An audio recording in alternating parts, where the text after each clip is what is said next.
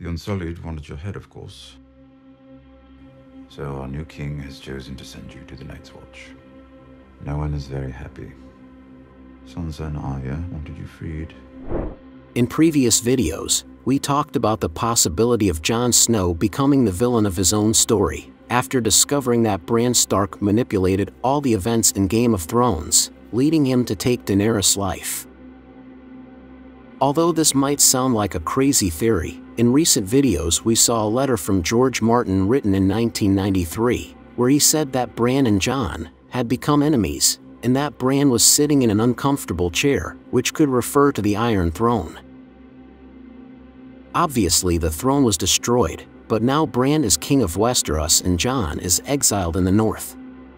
But what if the theory we're talking about were true, and Jon wishes to retake the throne and finish off Bran. How could he accomplish this? In this video, we'll be talking about the strategy Jon Snow could use to take control of Westeros. And if you want to know everything related to the Game of Thrones universe, from theories, news and stories, don't forget to subscribe to this channel. Welcome to the Three-Eyed Raven. This revenge story arc begins with Jon in the north, realizing Bran's manipulations. Perhaps having visions of a new threat in the north, or in the world because of the three-eyed raven. Let's remember that Kit Harington mentioned how Jon Snow was not in a good state of mind after Game of Thrones, which indicates that he is not satisfied with what happened with Daenerys.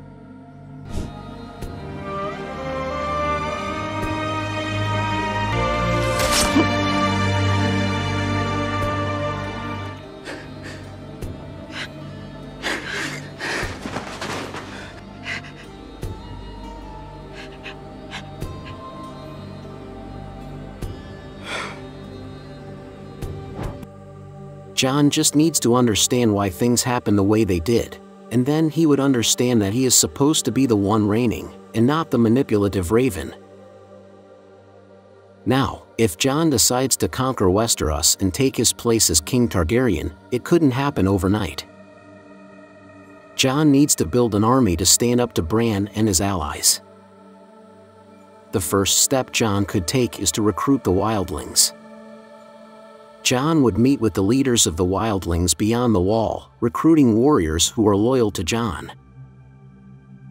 We don't know if there are more villages farther north where Jon could recruit more people, but we believe that the world of Westeros is much larger than what is shown on the maps. It is possible that Jon will encounter entire villages in the place of eternal winter and somehow convince them to join his battle so the first step for Jon would be to recruit the wildlings. Wildlings are known for their skill in combat and their ability to adapt to different terrain and conditions. This makes them valuable allies for Jon Snow in his mission to conquer Westeros. Jon's next step would be to conquer Winterfell. This is something that could happen in two different ways. The first option is for Jon to propose to Sansa, and officially become the king of Winterfell. After all, the Northmen consider him a king. If Sansa does not agree to this proposal, Jon could take Winterfell by force and explain to the Northerners Bran's manipulations and how he is supposed to be king. Obviously, many men in the North prefer Jon as leader rather than Sansa. Sansa grew up among the Lannisters, and many distrusted her in the North. Jon Snow is a person who even gave his life for his men. Which is possibly why most of the warriors in Winterfell would support a Jon Snow rebellion against Sansa. When Jon conquers Winterfell, this would be the moment when all of Westeros would be on high alert, because it means that a new threat is rising in the north, and it is not the White Walkers, but Aegon Targaryen. We know no king but the king in the north whose name is Stark. The north remembers. He's my king, from this day until his last day.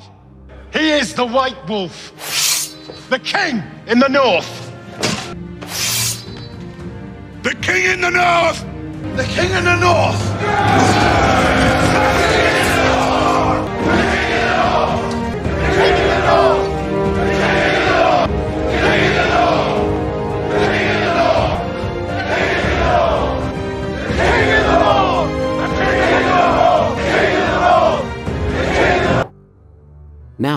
Race is on to find Drogon. We know that in the end of Game of Thrones, Bran Stark sets out to find Drogon's whereabouts, but Jon Snow might be one of the only people in Westeros who can control the dragon. After Jon conquers Winterfell, the next step would be to transport himself and his men to Essos in search of Drogon. This is where the story could become more complicated. If Daenerys is not resurrected, Drogon could be a wild dragon in Volantis, or even live near the destroyed city of Valyria. Here Jon could learn even more of his ancestors and claim Drogon for his own. If Jon Snow has the support of the North and Drogon, we are already starting to talk about a major threat to Westeros. If Jon claims the dragon, obviously the Dothraki would see Jon as a leader to follow. Jon will explain to them that it was Bran who led him to destroy Daenerys, and everyone will begin to understand that the only option they have is to dethrone the Three-Eyed Raven. The next step Jon could take is to recruit the Iron Islands, as well as House Martell and Dorne. These would be the most logical allies for Jon to face Westeros. Historically, Dorne has been in disagreement with King's Landing, and this could be a theme that will be repeated again in the Game of Thrones sequel. Jon then begins his march to Westeros, where in Storm's End, Gendry could join along with his men. Obviously, this would not be so easy for Jon, as Bran has the ability to see everything that happens, even time travel. But I think dragons are the three-eyed raven's blind spot. As long as Drogon is with Jon, Bran may not be able to see what is going on. Possibly that's why Bran doesn't know exactly where the dragon is. If Bran can't see Drogon or control him, this would be bad news for Bran, as Jon could arrive with his army at the gates of King's Landing to claim his throne. War would be inevitable. Bran's men and Jon Snow's men, or rather, Aegon Targaryen, would fight again. The Stark family would be divided. Arya would possibly fight alongside Jon Snow, while Sansa would look for a way to betray him and keep the throne. What would be the outcome of the battle between Jon and Bran Stark? I think if we were to see the confrontation at this magnitude, we could see the near total destruction of Westeros, and Jon Snow could cause far more damage than the Night King. While it wouldn't be an easy mission, I think in the end Jon could be crowned king. But tell me what do you think of this theory about the Game of Thrones sequel? Do you think this is the way Jon will claim the throne, or do you think Jon can't beat Bran? And if you like this content, I invite you to become a member of this channel. Each contributor will see their name at the end of all videos. And for more videos with theories, news, and stories from the Game of Thrones universe, don't forget to subscribe to this channel. You are on. The Three-Eyed Raven